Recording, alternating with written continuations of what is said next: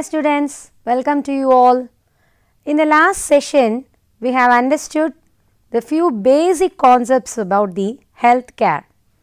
Here in this session, we are going to understand first the types of health care. What are all the types? And then we will learn about the factors affecting the health care system in India.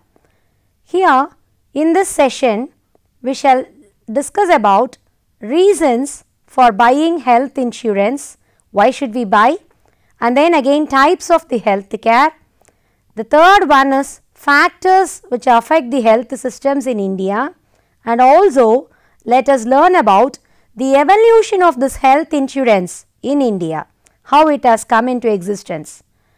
See, the famous poet Thiruvalluvar he has said that Noi Nadi, Noi Mudal Nadi அது தணிக்கும் வாய் நாடி வாய்ப்பச் செயல் which means disease its cause what is the cause what may abate the ill let leech examine these then use a skill that means first of all let the physician let him enquire into the nature of disease what is the nature and then let him indulge into what are its causes And then let him find out its method of cure and then treat it faithfully according to the medical rules.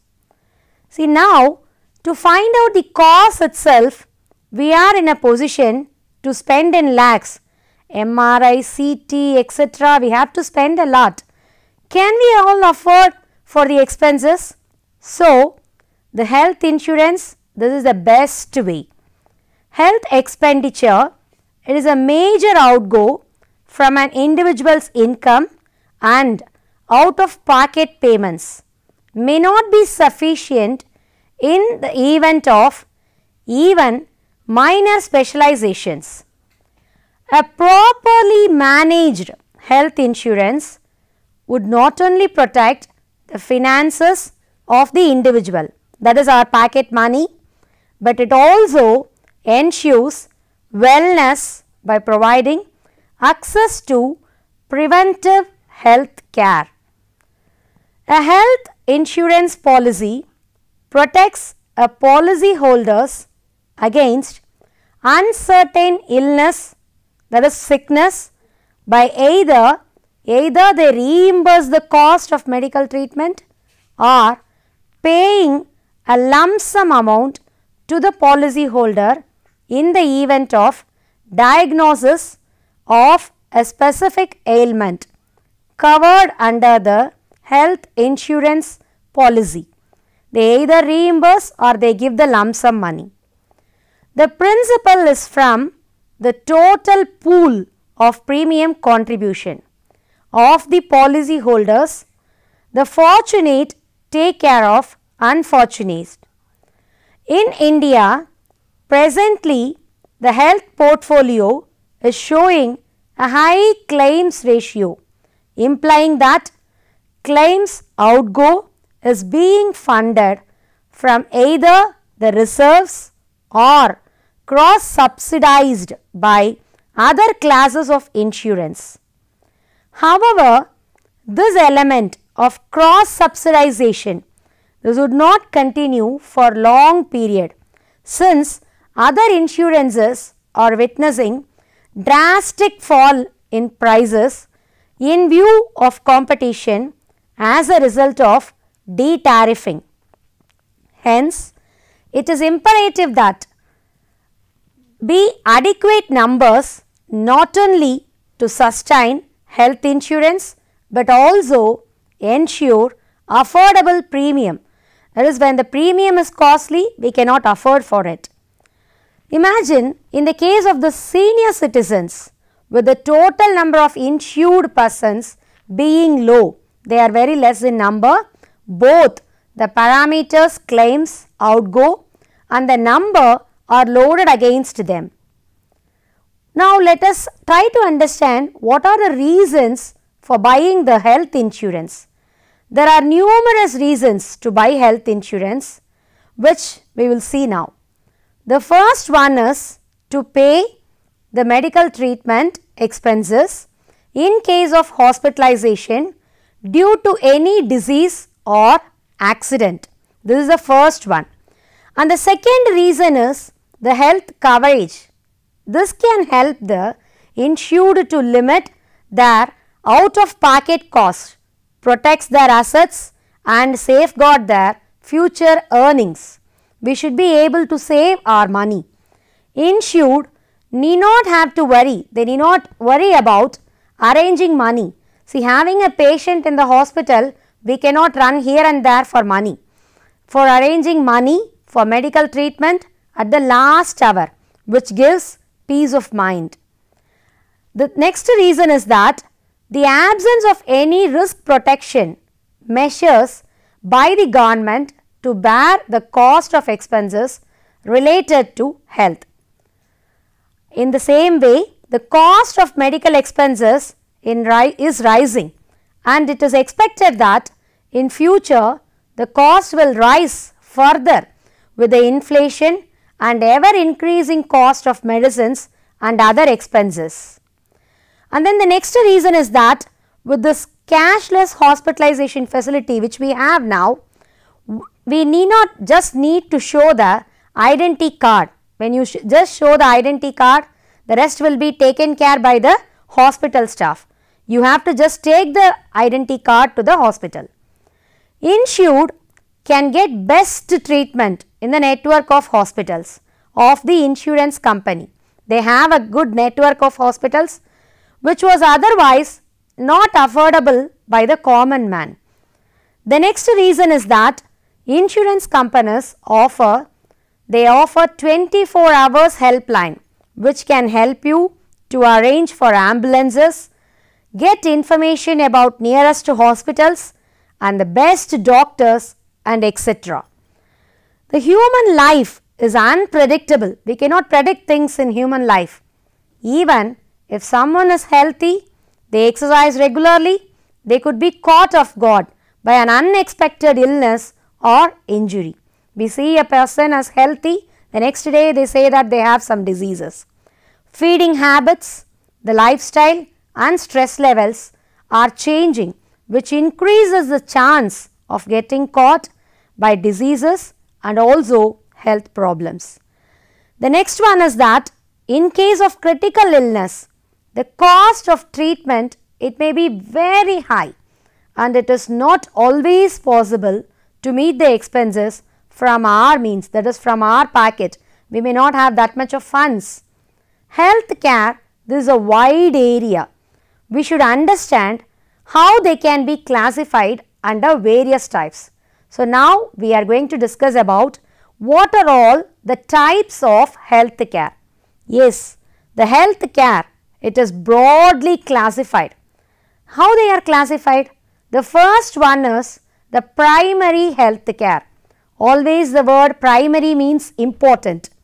Primary health care this refers to services offered by the doctors, nurses and other small clinics even which are contacted first by the patient for any sickness. First we will move only to the nearby clinic. That is to say that primary health care provider is the first point of contact for all patients within a health system. The nearby clinics, right. The next one, in developed countries, more attention is paid to primary health care so as to deal with health issues before the same become widespread to avoid complications, right. Complicated and chronic or even severe diseases. Primary health care establishments, they also focus on preventive health care. We might have heard about this vaccinations, so they give vaccinations and also they create awareness programs. So, awareness they also give medical counseling to the patients and in case of any disease they refer the patient to the next level of specialist when it is required. For example, if a person visits a doctor for fever and the first diagnosis is indicative of dengue fever, the primary health care provider will prescribe some medicines. Of course, he will give you a prescription, but at the same time he will also direct the patient to get admitted in a hospital for specialized treatment. The dengue patient should be given a specialized treatment. For most of the primary care cases, the doctor acts like a family doctor. Everybody we used to ask, who is your family doctor? Where all the members of the family visit the doctor for any minor sickness. Even for minor sickness, we refer to them. This method also helps the medical practitioner in prescribing for symptoms based on genetic factors and give medical advice appropriately. See for example, the doctor will advise a patient with parental diabetic history to be watchful of the lifestyle from young age to avoid diabetes to the extent possible. See genetically you may get the grandfather may get at 60 and the father may get diabetics at 40 and the son may get even at the age of 20 they say. See at a country level primary health care centers are set up both by government as well as the private players. Government primary health care centers they are established depending upon the population size and are present right up to the village level in some form or the other. So, this is about the primary health care. Hope you might have understood. The next one is the secondary health care. This secondary health care this refers to the health care services provided by the medical specialist and other health professionals who generally do not have first contact with the patient. That is, we will see the doctor for the first time. It includes acute care requiring for a serious illness. Often, it is not necessary that we should always go as an inpatient, including we have intensive care services, critical care unit, ambulance facilities, pathology, diagnostic and also other relevant medical services. Most of the times the patients are referred to the secondary care by primary health care providers. The primary physician that is we may call him as family doctor right. In some instances the secondary care providers they also run an in-house primary health care facility in order to provide integrated services. Mostly the secondary health care providers are present at the taluk or block level depending upon again the population size. These health care units will be able to minor surgeries also. For example, a person falls down and gets fractured in either of the hand. He is in a position to undergo uh, maybe a small surgery like for example to fix a plate for recovery. These surgeries can be done in these secondary health care units itself. Their hospitals will have the provision for operations. They will have both pre and post operation care units also. The proper nursing care also will be provided in these healthcare centers where they have pharmaceutical units also within the campus. They have everything in the campus. See now we have discussed about the primary and also the secondary we have discussed. Now we will see about the tertiary health care. What is this tertiary health care? This is a specialized consultative health care usually for inpatients and on referral either from the primary or secondary providers. The tertiary care providers are present mostly in the state capitals and a few at the district headquarters. Examples of this tertiary health care providers are those who have advanced medical facilities and medical professionals beyond the scope of secondary health care providers like oncology that is a cancer treatment organ transplant facilities, high risk pregnancy specialists, etc. See here it is to be noted that as the level of care increases, the expenses associated with the care that also automatically gets increased. While people may find it relatively easy to pay for the primary care, it becomes difficult for them to spend when it comes to secondary care and again it is much more difficult when it comes to tertiary care. The infrastructure for different levels of care that also varies from country to country, from rural to urban areas, while socio-economic factors also influence the same. Here, in these units, we are in a position to depend on some financial assistance.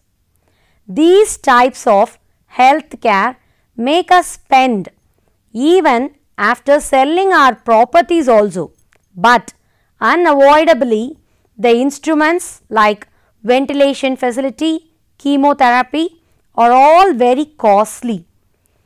The next one which we are going to discuss now is the factors affecting the health systems in India. The Indian health system has had and continues to face many problems and also challenges. These in turn affect the nature and extent of the healthcare system and the requirement at the individual level and healthcare organization at the structural level. Now, we will discuss about these factors here. The first one is the demographic or population related trends that is now India is the second largest populated country we know well next to China in the world.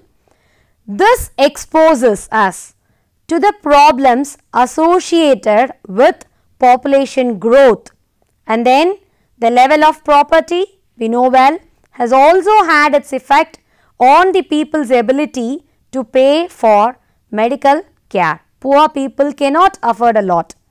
The second one is the social trends.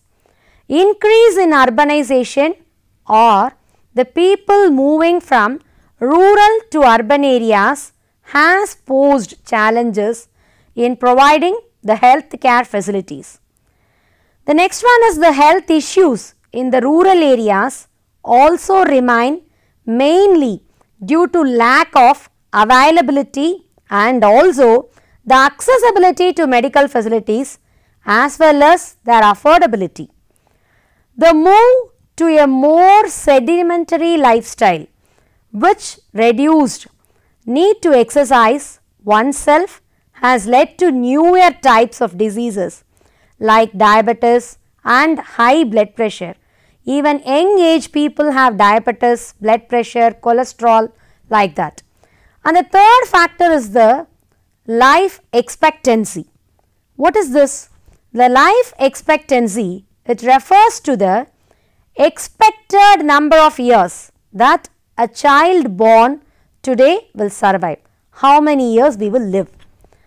See now the life expectancy has increased from 30 years at the time of independence to over 60 years approximately but does not address the issues related to quality of that longer lifespan. See now this leads to a new concept of healthy life expectancy. The next one is this also requires the creation of infrastructure for geriatric that is the old age related diseases. These are the factors. Now let us learn about the evolution of health insurance in India how this health insurance has developed in India.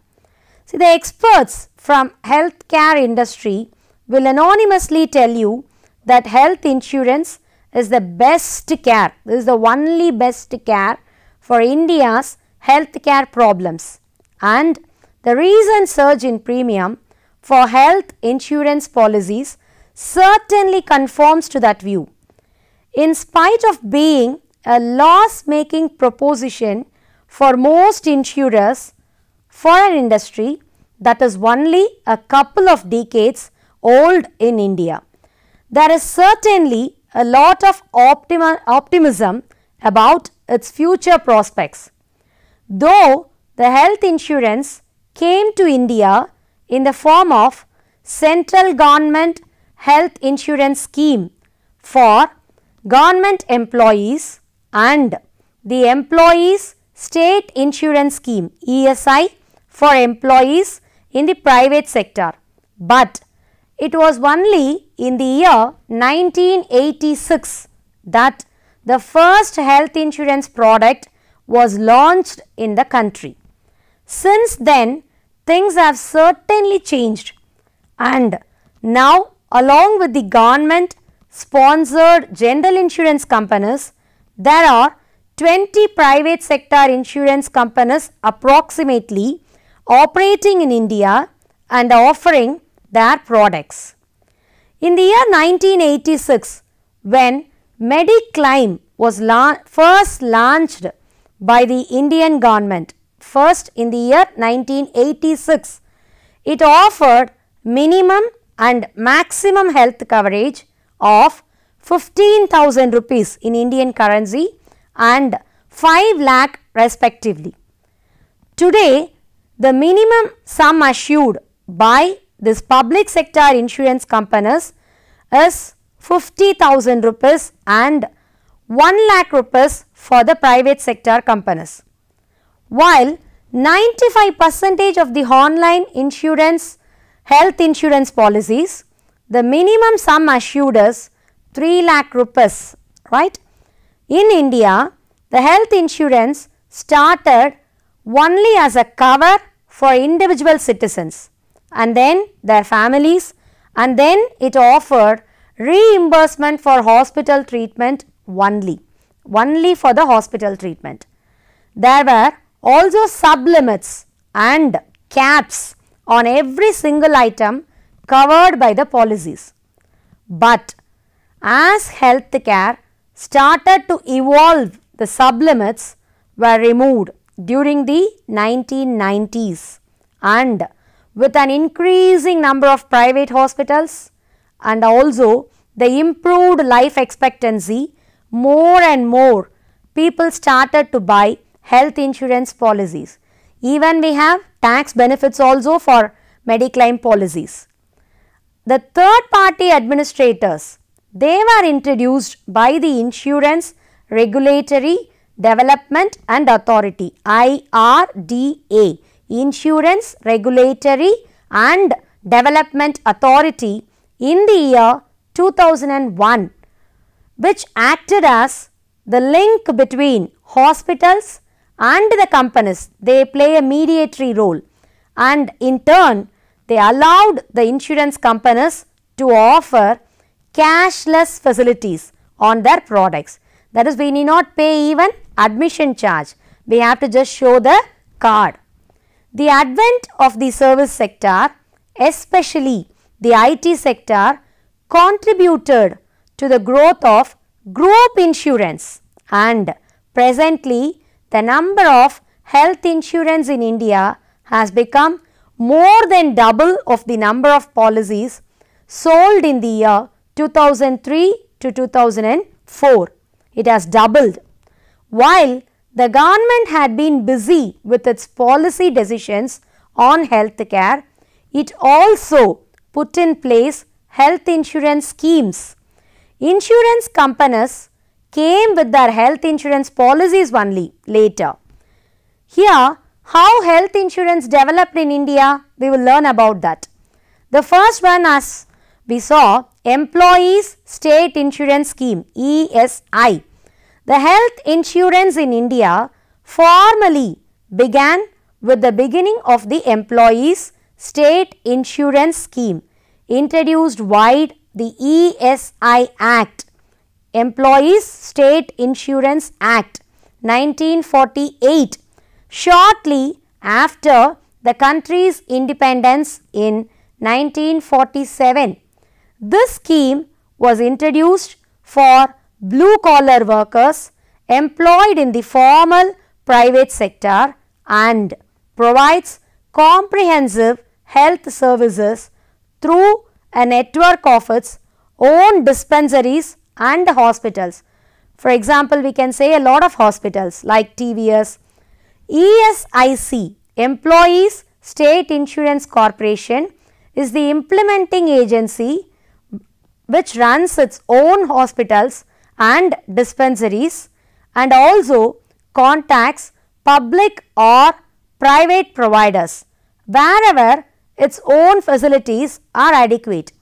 All workers earning wages up to 15,000 rupees are covered under the contributory scheme wherein employee and employer contribute 1.75 percentage and 4.75 percentage of payroll respectively.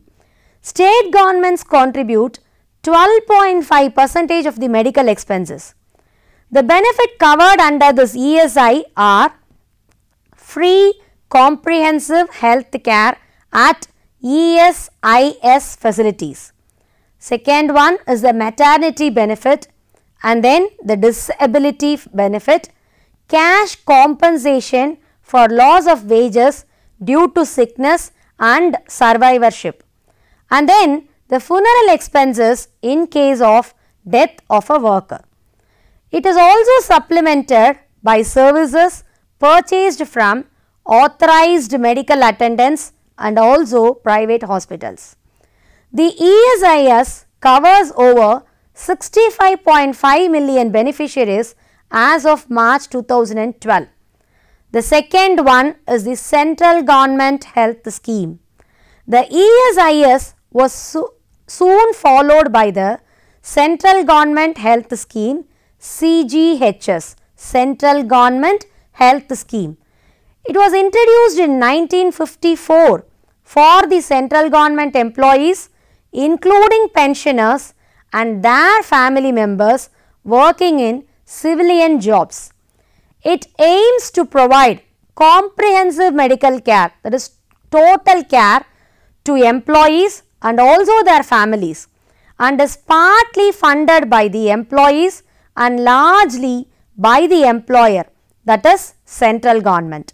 The services are provided through CGHS Central Government Health Scheme own dispensaries, polyclinics and empaneled private hospitals.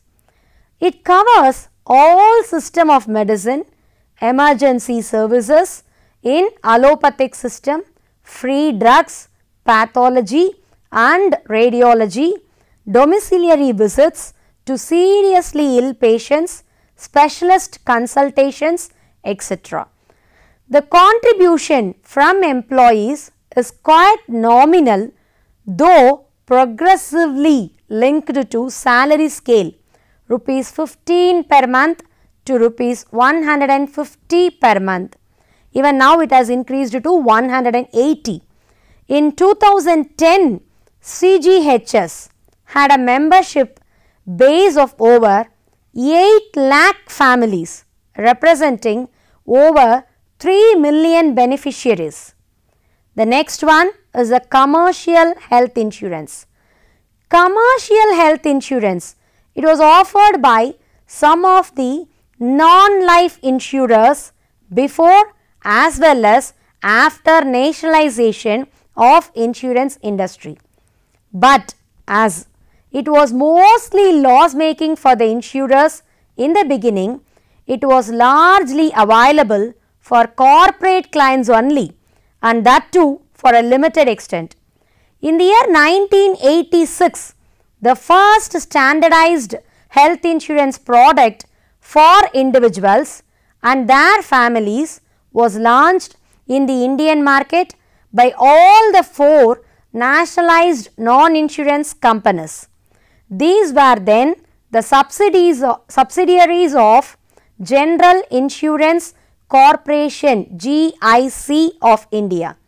This product Mediclaim was introduced to provide coverage for the hospitalization expenses up to a certain annual limit of indemnity with certain exclusions such as maternity, pre-existing diseases. It underwent several rounds of revisions as the market evolved, the last being in 2012.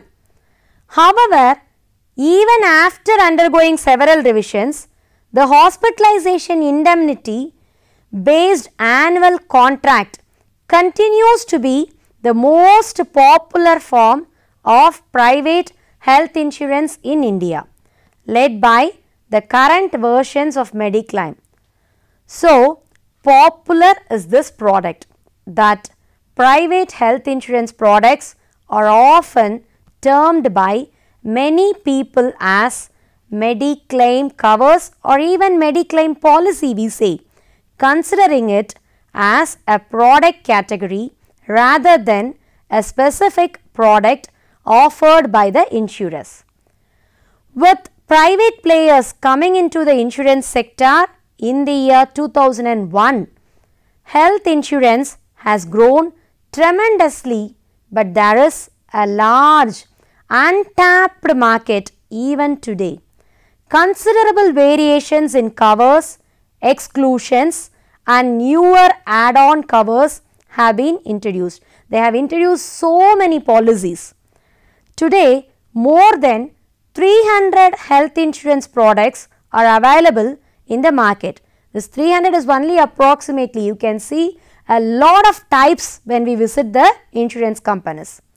See now in this session, we have understood first we learnt about the types of health care and then followed by the factors affecting the health care and then last evolution of the health insurance system in India.